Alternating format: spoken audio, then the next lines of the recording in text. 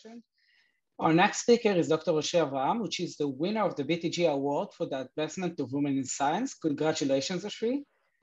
Um, we would like to tell you a little bit about BTG, the company who is sponsoring this award in Hebrew. ביוטכנולוגיה כללית, BTG, חברת פרט בבעלות מלאה של חברת התרופות השוויצרית פרינג פרמצוטיקלס, היא חברת התרופות מבוססת הנדסה גנטית הוותיקה ביותר בישראל, BTG פועלת לשימור עובדי הביוטק ולהחזרת עובדים ישראלים מחו"ל באמצעות מרכז מחקר ופיתוח ומתקן ייצור לתרופות לפוריות האישה, הורמון גדילה, שחיקת סחוסים, חלבונים רקומנדנטיים ומוצרים סטריליים.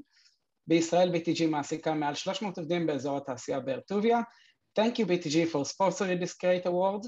And Dr. Roshé Avraham, the stage is yours. Okay, תודה שחר. Um, and thank you so much for Science Abroad for organizing this wonderful symposium. And um, I'm really honored uh, for this uh, award from BTG. So I'm telling you today um, what I'm doing in the lab of Valeria Cavalli at Washington University, where we study glial mechanism um, of axonal generation.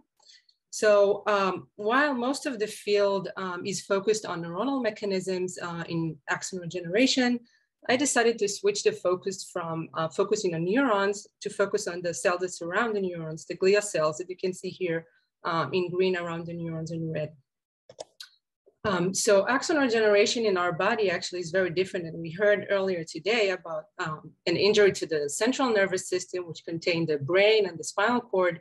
And an injury in the central nervous system um, is very poor and uh, recovery um, is bad after that type of injury. However, we have in our body also the peripheral nervous system here. You see all the nerves in blue, where an injury in your finger or your foot, for example, uh, will uh, result in, in great regeneration with fast fu functional recovery. So those main two differences are mainly um, from two uh, factors. One is the um, internal um, neural intrinsic pro-regenerative programs uh, which are very weak or even absent in most of the cases after central nervous system injury, but seems to be uh, strong and well characterized after a peripheral nervous system injury. Um, and the, the, the, second factor is the nature of the tissue microenvironment around the, the neurons, um, uh, which is inhibitory, um, resulting in scar formation in central nervous system. However, it's um, shown to be permissive after peripheral nervous system injury. So in order to study those differences between uh, regeneration after peripheral and central uh, injuries, um, I focused on the DRG, the dorsal ganglion as a model system in the mouse. The DRG uh, is located outside of the spinal cord. Here you have ganglions of cells, um, um, including all peripheral sensory uh, neurons uh, with different inputs like pain, temperature, touch, and proprioception. And what's really great about this system that we have all the cell somas of the neurons located here in the ganglion. And the same cells from here, they send two branches of axons. Uh, exact, actually, it's the same um, axons that bifurcate into two branches. So one is the blue branch, is the peripheral branch to the sciatic nerve that ends up in the foot pad of the mouse or inner foot. Uh, and the second branch in the red is a central branch uh, in red that um, ascend um, through the dorsal root uh, into the spinal cord, ascending to the brain. So what's interesting in this system that if you injure the peripheral um, branch here, the blue one, regeneration is pretty efficient, about one millimeter a day um, with the axon growth from the injury site. However, if you injure, injure the same, the, the axon of the same neuron, but the, in the central branch, regeneration is very uh, poor. Um, so if you look at the DRG uh, in an EM image here with pseudo color, you see that the vast majority of, of the, the largest cells in the, in the DRG are the neurons here in magenta. However, there are cells surrounding uh, the neurons here in uh, turquoise, which are glial cells, which will be the main focus of my talk today. Uh, and in orange, you see other non-neuronal cells. And if we think of DRG, we think usually of neurons and what they do. However, if I dissociated all cells in the DRG uh, with a GFP labeled neuronal marker, I found only about 12% of the cells in the DRG um, are neurons. Um, and as you can see here in, in, the section of the ganglion, there's uh, the green cells are glia around the neuron. And in vitro, if you dissociate, you see a lot of cells in the tissue are uh, glia cells. So I wanted to ask two questions here um, with this uh, response to peripheral versus uh, central injury. Does the neuronal microenvironment respond or play a role in those differences? As we know, neurons are. However, we don't know if the um, uh, exact um, environment around the neurons um, responds differently and might have a role in these differences. So in order to do that, uh, I performed uh, this experiment where I performed three types of injuries uh, an injury to the peripheral branch, an injury to the dorsal root, which is a central nervous system injury, and an injury to the spinal cord, which is the ascending axons of the same neuron uh, from the DRG here. So not knowing exactly what's the neuronal uh, surrounding um, environment uh, is, uh, I decided to take an unbiased approach by doing those uh, injuries and um, collect those DRG dissociated and perform single cell RNA-seq uh, after each type of injury. So what we can see here in t-SNE plot that each um, uh, cell is a, is a dot here and the colors um, uh, uh, are um, distributed by the, the cell type of the cell. You can see here that the red cells, uh, the largest cells in the DRG are uh, the satellite glial cells. Um, and uh, we characterize them by some known markers genes like cadherin-19 and the potassium channel uh, KIR 4.1. However, there's no really molecular tools or mice to study uh, and manipulate genetically those cells to study their biology. So looking back at our RNA-seq, we uh, found uh, the top marker that was differentially expressed in satellite glial cells was uh, FABP7 or brain lipid protein binding 7 uh, that is enriched here in the RNA-seq. And also uh, in the protein level, when we stained with FABP7, we see green cells here surrounding the neurons uh, in the DRG tissue. So uh, looking at this uh, gene, we also were able to find a Cre-inducible mouse uh, with this promoter. And here crossed with ROSA GFP, you can see that it labels specifically uh, satellite glial cells surrounding the neurons. So then we wanted to see if we can profile those satellite glial cells and uh, see uh, specifically in the RNA level what they do after uh, peripheral injury, which um, result in regeneration. So we performed um, um, a peripheral um, injury and then sequenced the cells. And looking at the pathway that were upregulated uh, after peripheral injury, specifically in satellite glial cells, we found enrichment of fatty acid metabolism and biosynthesis, and specifically uh, PPAR signaling pathway. So PPAR are nuclear receptors that we have alpha, beta, and gamma, and they use fatty acid as their ligands to um, uh, activate specific transcriptional programs. And the main enzyme that synthesizes fatty acids uh, uh, is fatty acid synthase. So I wanted to see if, if satellite glial cells are specifically enriched in fatty acid synthase. And indeed, in the RNA-seq, we see that fatty acid synthase is enriched in satellite glial cells in the DRG.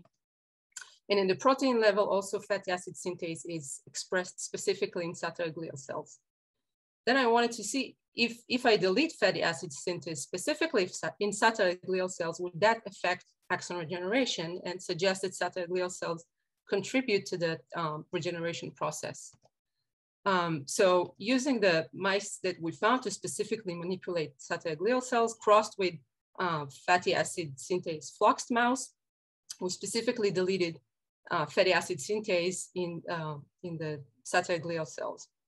And then I wanted to see if regeneration now will be affected in those uh, conditional knockout mice. And uh, I injured the, the nerve and then we wait three days and measure how much the axons grow uh, further um, from the injury site. As you can see here in control mice, there's nice regeneration. However, in the conditional knockout mice, there was uh, impaired regeneration um, after injury. So looking at the downstream mechanism, um, there's three types of receptors, uh, alpha, beta, and gamma. And I specifically found that PPAR alpha target genes were upregulated in satellite glial cells uh, after yeah, peripheral injury, but not in neurons. And in the protein level, PPAR alpha is specifically expressed in satellite glial cells. So now we know that we delete fatty acid synthase in satellite glial cells, regeneration is impaired. Uh, so uh, what happened if we specifically induce PPAR alpha, but by using PPAR alpha agonist um, that should activate this pathway in satellite glial cells? Um, so I screened in vitro for several uh, PPAR alpha agonists, and I found fenofibrate um, to induce regeneration in, in vitro in, in cultured DRG neurons. So then we, uh, we treated mice with normal diet and with fenofibrate diet. And in normal diet, you can see in the knockout mice, there's impaired regeneration. However, mice treated with fenofibrate diet showed increased uh, and rescued regeneration uh, similar to wild type. So from that work, um, we concluded that after uh, peripheral nervous system injury, SATA glial cells surrounding the neurons here activate this fatty acid synthase PPAR alpha uh, pathway to um, uh, activate um, neuronal repair after injury. And then we had data also uh, for central uh, nervous system injury.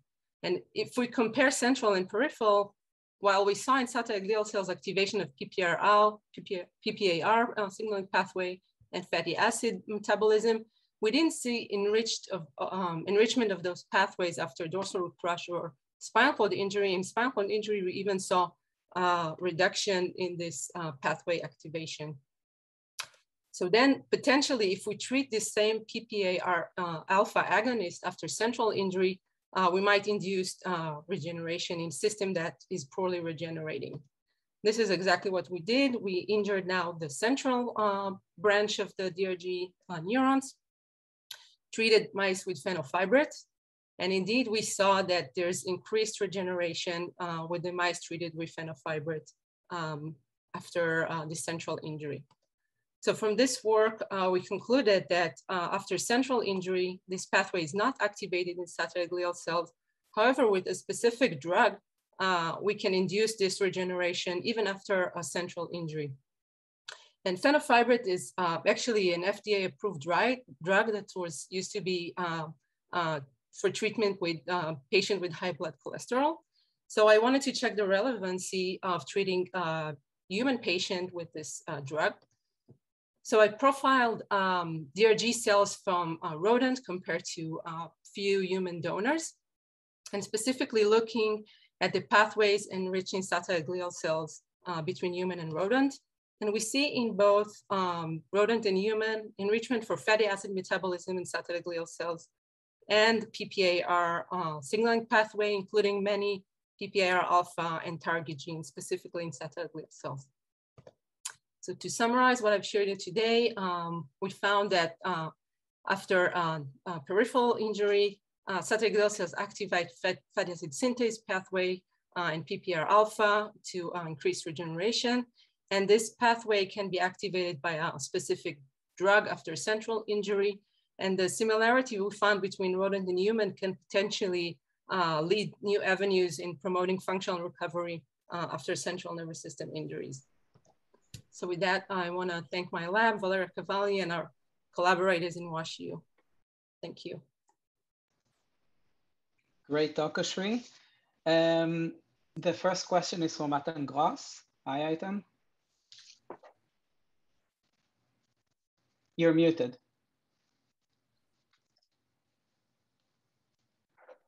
Wonderful to see you, Shachar. Wonderful to see you. Oshri, what can I say? An amazing work, really. Tour de force. Uh, I enjoyed it very much and everything together. Um, I have a lot of questions, but I'll only ask one of them. Actually, it seems that these glia cells are making, they're like transforming themselves into brown adipocytes. Because in brown adipocytes, you have exactly the same pathway. UCP2 is upregulated. You have um, depolarization of mitochondria. Um, and I'm thinking that maybe there's something going on there in terms of uh, um, these cells that are starting to make fatty acids like adipocytes. Do you have any thoughts about that? And second question is, have you tried to put these uh, these mice on uh, on a high fat diet? Can it, can it rescue or help? Yeah, there was one idea that we want to check, and actually, um, we're trying now a model of um, diabetic neuropathy and com mm. combining fatty acid and PPAR alpha agonists mm. uh, that might induce this uh, regeneration mechanism in, in neuronal um, neuropathies, uh, specifically mm-hmm. from diabetic um, mm-hmm. mice. Um, and for the question of the, we, we, think that the glia might transfer some um, lipids or fatty acids to the neurons. And we're testing mm-hmm. that now in in vitro assays. It's a bit complicated because it's in vitro, um, but we'll we want to find a way to do it more, maybe in, in more explant uh, based um, in vitro systems by labeling uh, fatty acids in the glia and putting them on neurons and see if they can transmit those fatty acids into the neurons or lipids. But fatty acids are important for mitochondrial function, actually. There's adipocytes that attach to mitochondria, they feed them. Did you look at mitochondrial function? We haven't, no, but it's a nice uh, path to go.